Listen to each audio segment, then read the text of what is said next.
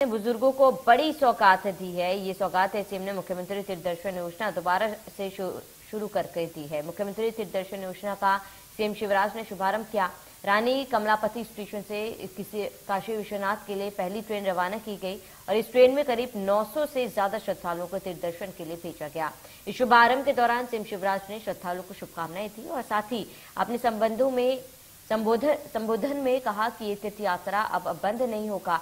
वहीं बता दें कि कोरोना के चलते इस यात्रा को रोक दिया गया था। इस दौरान सीएम शिवराज ने, जहाँ कमलनाथ सरकार पर निशाना साधा, वहीं उन्होंने दोबारा तीर्थ दर्शन योजना की शुरुआत होने की भी बात कही। इसके साथ ही सीएम ने तीर्थ दर्शन पर वापस लौटने वाले लोगों से समाज में नशा न करने की अपील करने की भी कहा, जिससे समाज को नशा मुक्त किया जा सके।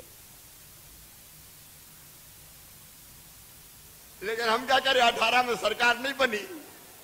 तब तक जैसा उषा जी बता रही थी, सात लाख चालीस हज़ार बुज़ुर्गों को यात्रा करवाई। तो बीच में यात्रा बंद हो गई। फिर कोरोना आ गया।